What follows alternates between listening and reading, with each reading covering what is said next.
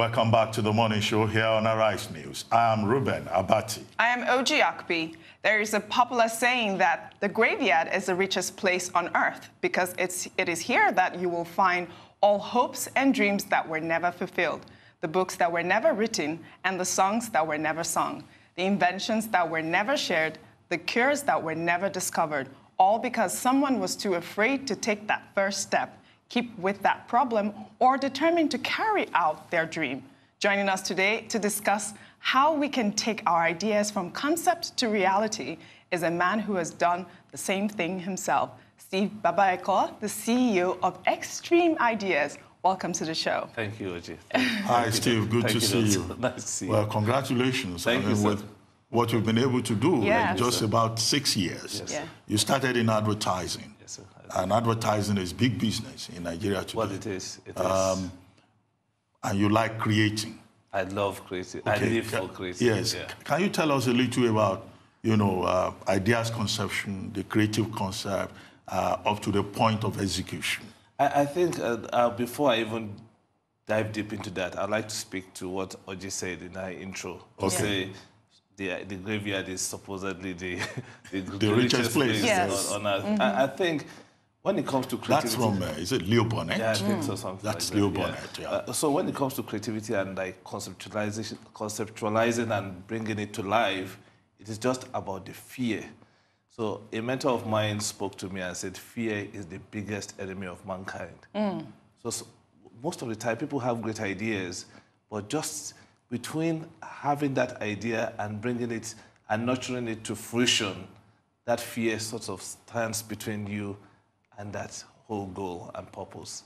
So it is conquering those fears that allows you to become great and allow those ideas to see the light of day.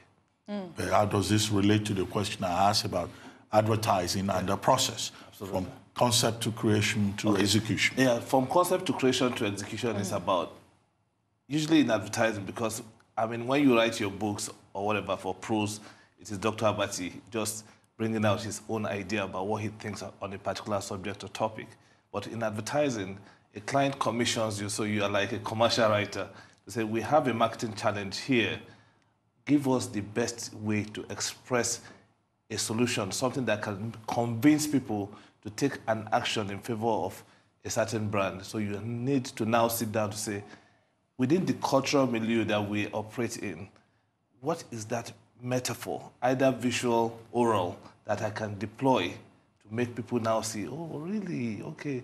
So I should be using Glo Network instead of the other network, of, for instance, you know. That's the kind of stuff that, that happens. Yeah, but the bottom line is for you as the advertising expert to, to help you identify the patron Yeah. uh, to sell their products. Absolutely. Uh, to gain a market share for them. Absolutely, absolutely. Uh, right? And you, you, you started with Prima Garnet. At what actually, with MCN is such a Okay, such a- uh, such and such. But at what point did you decide to stand on your own? Well, I, I say at this age, sometimes, I think when I turned 40, something happened to me when I turned the age 40. Then I started to look at, okay, I work in advertising. I, I, I was I, I was a top guy in, in, in One for One where I was creative director. But I now started to think of legacy. What am I going to do? Is this, shall we continue to run this business the way it's been, or is there a possibility to change something, especially within the digital context that we operate in today? I think it was at that point that I decided, let me conquer my fear and go out there and throw my heart in the ring and start. But if you look at uh, the advertising industry in Nigeria, I mean, it started with West African uh, publicity, Publicity, yeah. uh, when UAC wanted to uh, set up uh, a marketing uh, brand marketing arm, and then Lintas and all of that, Absolutely. and then you have the Rosabel generation, Insight, and all of these groups. But today, almost everybody is into advertising. Yeah. I mean, uh, some are registered with the AAPN, some are not registered. Um, is it about competition or is it that you guys are making a lot of money and everybody wants to set up a boutique? Oh Again, uh, it's a, there's a, it's a bit of so many uh, factors. One, in Nigeria, I always crack this joke that if you want to start a war on your street, hmm. set up a barbing salon, for hmm. instance. Once people perceive that that barbing salon is doing well, you wake up one morning, Dr. Abati, you see 10 barbing salon on the same street. Hmm. I think that's what's happened uh, with the advertising industry. It's just the same thing with music. People think there's money in music, so you find all commerce now trying to set up some kind of record label or the other. But with advertising, the law is still there though, that for you to even be able to practice advertising, you have to be an App- APCON registered practitioner. So APCON has to license you as an individual, and then AAAN, uh, formerly Triple A- double AAPN, Oh, yes. yes, now has to license you, so you have to be a registered member. So uh, we had an election at the last AGM. Uh, Ikechi Odibo, the CEO of uh, DDB Lagos, is the president. I emerged as the uh, vice president. And all of this proliferation of unlicensed practitioners are some of the issues that we intend Well, to tackle. Okay. you see, advertising is said to have started in the Garden of Eden. Somebody said when uh, the serpent managed to sell Absolutely. the forbidden fruit to, To Eve. Eve. Who You was know- that person that said that? and if you know, because it was a case of advertising. compelling You know, yes. You know, so the serpent made the speech, and uh, Eve bought into it, Yes. and all these issues uh, started. Started. Okay. Now there are sharp practices in Sure. in advertising, definitely. Now you are a member of the executive. How does that executive intend to deal with the issue of ethic, ethics in advertising practice in Nigeria? Well, again, that's why with the AAAN we have the ethics committee. Okay. So if there were like an issue that borders on somebody like flouting the law or doing something unethical, uh, the ethics committee will sit and look at the issues, and if the person is found guilty, there are certain Now, penalties. what are the specific things that advertising agencies must not do, for example? Well, for instance, the, the, the code says that you must not uh, demarket another ad agency. You must not uh, uh, even advertise yourself. Your, so the big, the, your biggest advertise, form of advertising as an ad agency is the work you do for your clients. For your client. So okay. you can't see us now putting an ad in the newspaper to say, come to X3M Ideas and leave uh, agency B. That would be wrong. Okay, so know, stuff- what, the question like I have for that, how do you actually stay on top? Because I know that you have ideas, you have to like really share your ideas with clients. How do you keep that idea safe and have no one take it and run with it? Because you'll have to go around and pitch ideas, correct? Yeah. Well- In order p- for people to actually buy into your idea. So how, how does that work? How do you manage Well, that? it's difficult. Sometimes, you know, it, it, you just like you have, not all agencies are straightforward. Sometimes not all clients are straightforward. So you go pitch an idea, they tell you, oh, you didn't win, we didn't, we're not going Yes. with your idea, and the next thing, It's somewhere they've else, taken the yeah. idea, repackaged it somewhat, and give it. So, I mean, the thing is just to make sure that you just keep fighting and calling out some of those issues when they happen. You know, we have our ways through. Uh, maybe you go through the ADVAN as well to to make complaints if when it gets that bad. But Hmm. beyond that, you just to have keep fighting for your ideas. Find a way to own your ideas and make sure that you don't let them take them away from you. Wow. So wait, you said that there are policies in place now that can actually protect your ideas once you've shared and you've seen that it's been taken, or is that, is- Well, is I that mean, the case we- here in, in Nigeria? Yeah, if you pitch, for instance, I would recommend that normally we'll tell you we've pitched this material. If you say we've not won, uh, we'll write to you to say, well, we still own the rights to these ideas. Okay. The only time you lose the right to the ideas is when you've given it to the client and you've been paid for it. Okay. But before then, uh, make a compelling What, statement. what, what are the major challenges that you see in the industry? Well, part of the major challenges we still see, one, I think, is still the proliferation of so many agencies, including the suit briefcase agencies and the non-registered guys. So those are the quacks, the charlatans that just come to make the industry look bad. I think that needs to be fixed. And on the other hand, I think government still being one of the biggest spender on marketing comms. How do we engage government in a very positive way to make sure that they channel most of the work that they do through the registered ad agencies. I think that's very important because what you find is that Ministry of ex-ministry Y puts out communication. It's just been hurriedly knocked together by somebody. You really don't know who it is. It makes the ministry look bad.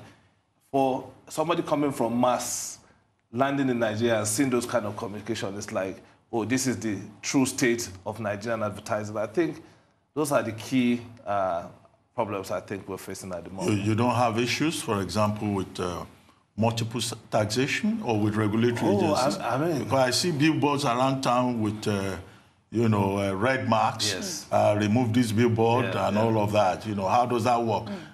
You know, the, the, the clamp down on signages, Absolutely. the regulation. And The all. signages again falls into another into, into the purview of some other body, which is the OAN, Okay. Outdoor Advertising Yes. Association of Nigeria. But for AAA, now, of course, we the issue of multiple taxation is there. You know, as most ad agencies will still fall under SME category. So where you find between the LIRS and the FIRS, all of the tax issues you find there, if you don't manage no, them- but you should pay tax. no, no, of course. That should not be seen It- as a it- challenge. No, no, no. You should pay tax, but all of the other charges beyond the LI, the t- beyond the statutory tax and all of the multiple taxation Okay. you face Multiple. are some of the things. I mean, as a responsible company, you must pay your tax. You know. Okay. But I see you've moved into music. Uh, Yes. It's not just uh, advertising you do, you also have X3M Music. Absolutely. Uh, is it that you want to make more money? Uh, the money in advertising is not enough. And So you're- you you're want to expand the pool, you know, I really- so I that more money can come in. I really wish there's the kind of legendary money people talk about in music. It's there, but I think the music actually started for me almost in between my advertising career. I think in 2008 I set up uh, X3M Music, used to fund it with my salary that I earned from advertising. But it's always been the passion.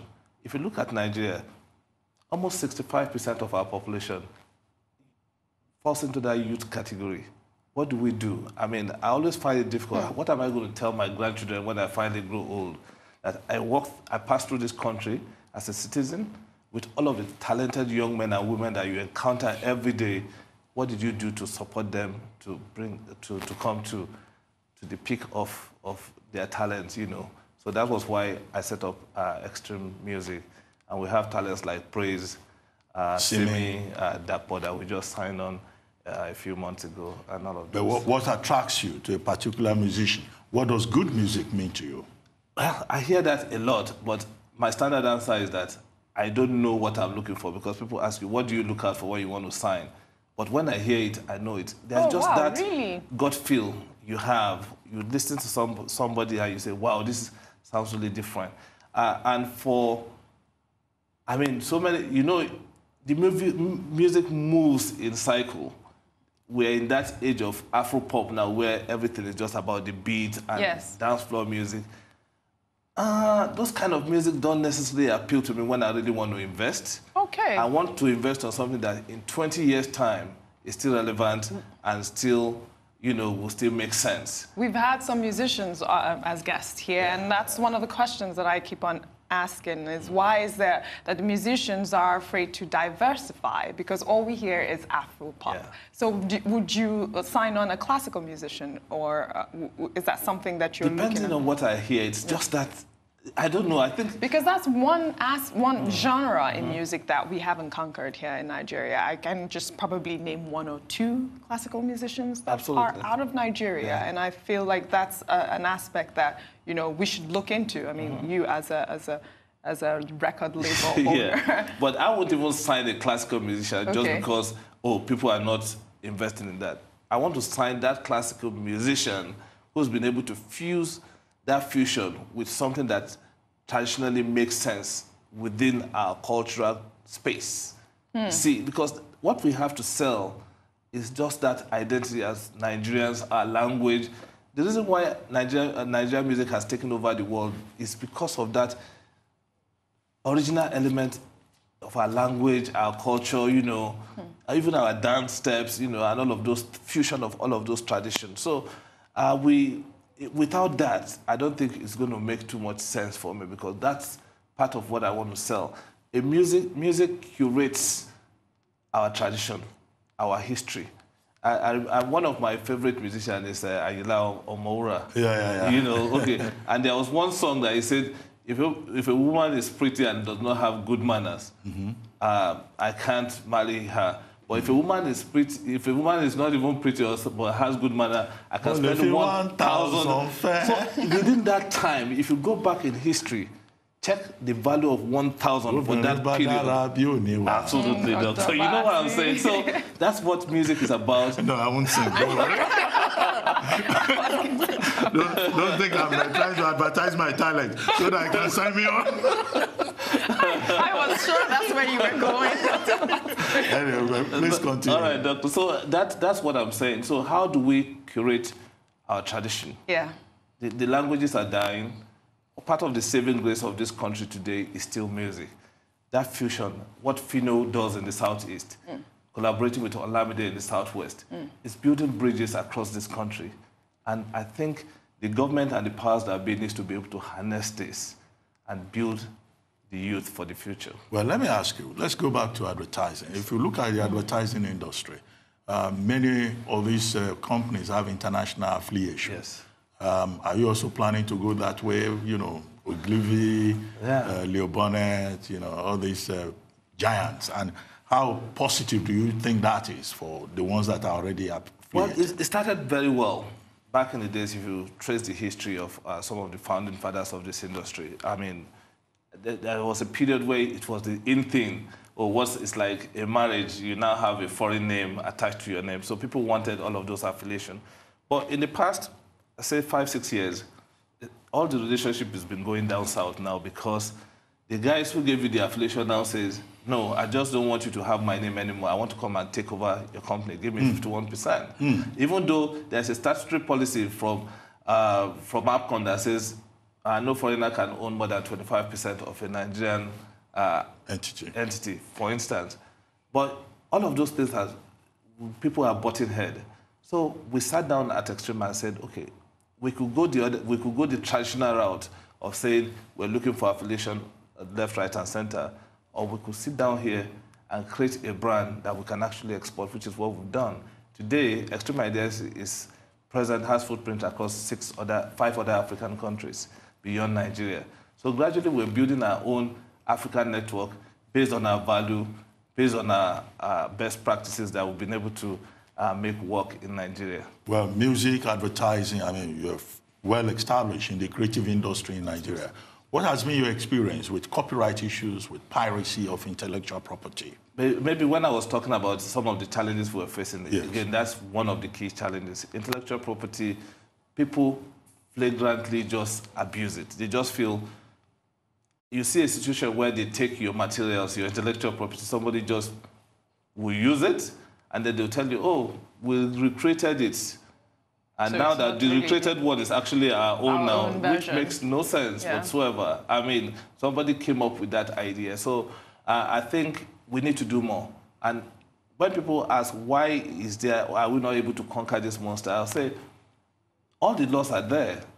We just need to give those laws teeth. Because when people know that uh, there will be consequences when you do some of these things, we, we set uh, a barrier and, and, prevent people from doing it? Well, this program today, we've been talking about ideas. Yes. Uh, Dr. Kali, who was here before you, was talking about a culture of ideas. Absolutely. And then your company is uh, named uh, X3M, X3M Ideas. ideas. But in terms of ideas, what will you say to young people mm-hmm. who will turn 40 also mm-hmm and then say, I want to be like Steve Babaeko, I want to go into entrepreneurship. Or even people that just have ideas and they cannot implement yes. them. How, how, can you give us some strategies? Well, I'll just say that? conquer your fears. You know, that's one of the things that changed my life. There was one time uh, a, a, company was bringing some speaker, I think an African American speaker, uh, to come and speak here. You know, he, he's a motivational speaker. I forgot his name now. And one of the quotes, they used one of the quotes of the guy for the headline of the press ad. It says, Everything you deserve is on the other side of fear. Mm. See, so it is being able to just recognize that fear exists. I know you exist, but all the things I deserve are just across the border from where you are. How are you able to look fear in the uh, eyes, still feel your fear, but still go ahead and do it? I think that's the most important thing young people need to understand. Sometimes your life depends on the whether your idea comes full circle or not. Well, thank you very much, Steve right. Right. I think on that note, yes. uh, thank you we'll much. let you go. Thank you, you know, we've enjoyed this very much. Thank you. I hope to see you soon. Well, I look forward to seeing you soon. All right, thank oh, you. Just the two of you. Well, we've talked about it, so don't worry about no, don't it. No, don't leave me out of that. We're Steve, you guys are going to see. Now you make the doctor jealous. No, I don't want him making more money than I do now. It's signing him out. It's been a pleasure having you here. Thank you Thank very you for joining me.